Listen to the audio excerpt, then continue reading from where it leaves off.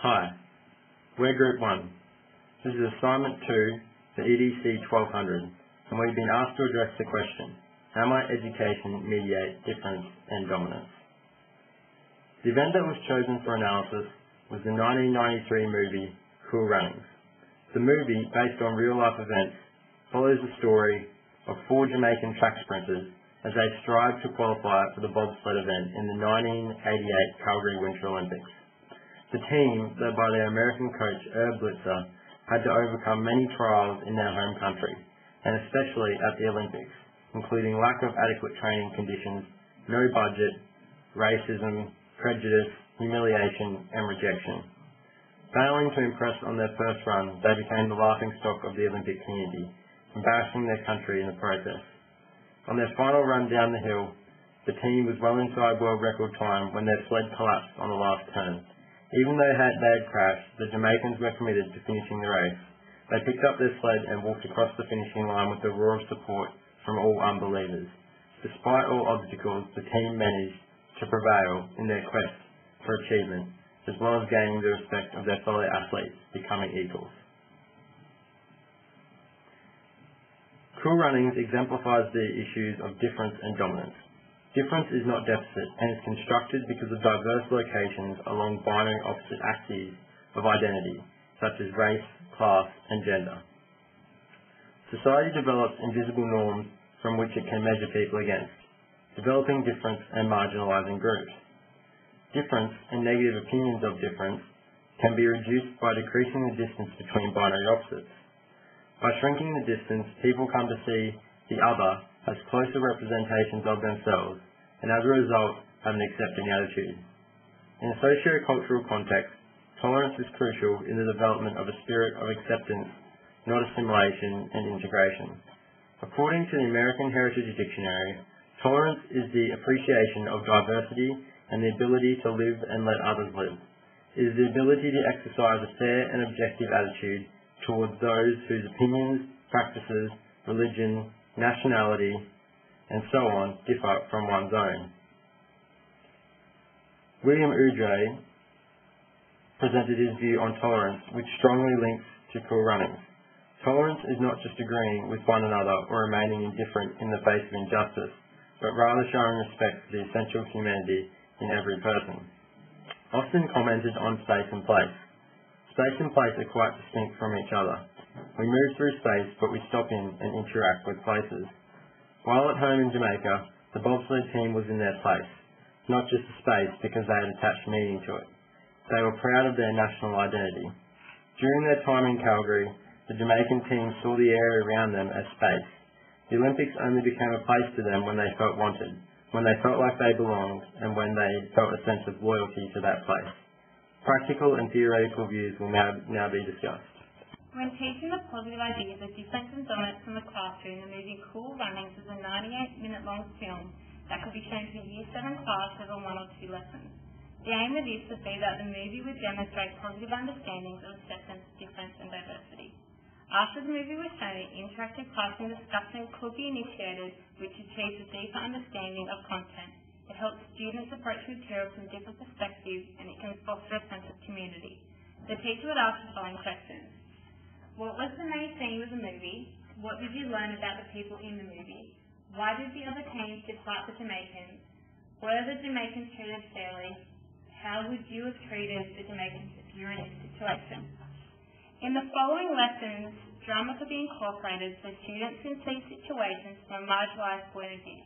Within dramatic plays, students could be positioned as an immigrant child coming into an Australian classroom.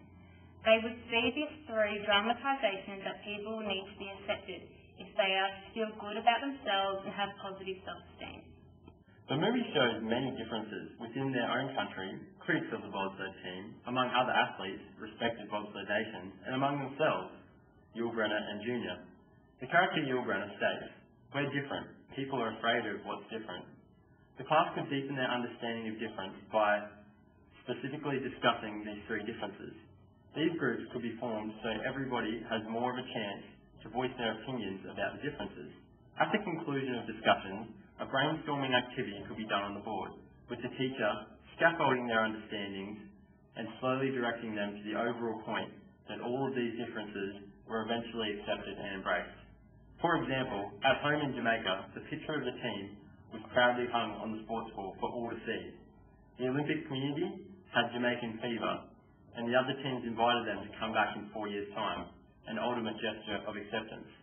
Finally, the teammates sorted out their personal differences and became great friends. Students would then have the general idea that once difference doesn't matter, everyone can be happy and productive. In regard to teaching children about various identity locations and senses of self, students would first have to learn the basics before it could be related to the movie. To do this, students could be asked a variety of age and context relevant questions to establish that everybody has different opinions and come from different backgrounds.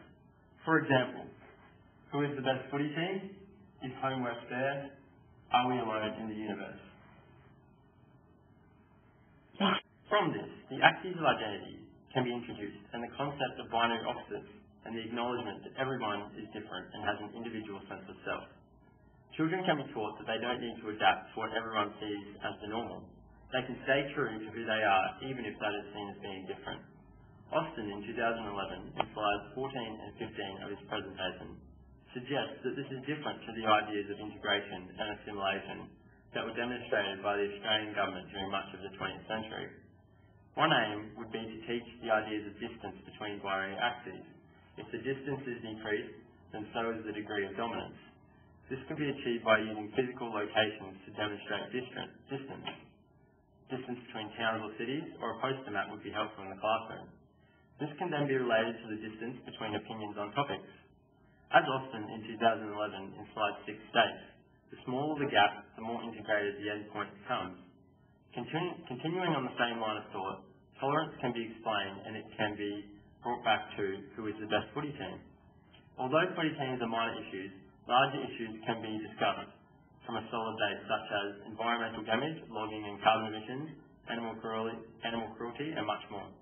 Such discussions are true to become heated with differences of opinion. This is a perfect time to remind them of tolerance and the Jamaican bobsled team who had different opinions all different clothes that were bright coloured and had patterns, and essentially had a different culture. In embracing tolerance, children would come to see people as unique, everybody having their own skills and qualities. However, it is essential to not see some qualities as more important than others. As transformative educators, our job is to make students and ourselves, as Bingham in 2011 suggests, as partners in learning to reevaluate past beliefs and experiences which have been constructed through assumptions in the community and through the media. Using the movie, it can be displayed that the other bobsled teams were made to reevaluate their prior knowledge, Jamaica as a summer sports nation, and experiences. As a result, they came to see the Jamaicans as equal, as the same can be true within the classroom and the community if children question the commonly held beliefs of the community. Janet Gonzalez Mena and Dora Pulido Tobiassen in 1999, paragraph 1, explained that positive difference and diversity working classrooms can do for the community. They stated, building positive identities and respect for differences means weaving diversity into the fabric of children's everyday lives. Working with families and communities is an important first step in helping children assess, understand, and value their rich and varied world.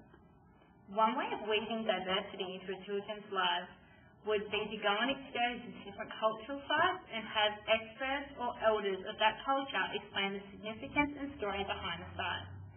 We think of the classrooms, the notion could be explored of what would have happened if the Jamaicans had been supported by the other teams from the start. Children could be asked to rewrite an alternative ending to part of the story with this in mind. Questions to raise the students' attention could include would they have done better? Would they have got the same publicity? Would they not have been inspired to put in the effort and have a real good try? Finally, Cool Runnings would support the children's growth in a world full of bias and discrimination, encourage them to reach for their dreams and feel that whatever they want to accomplish in life is possible.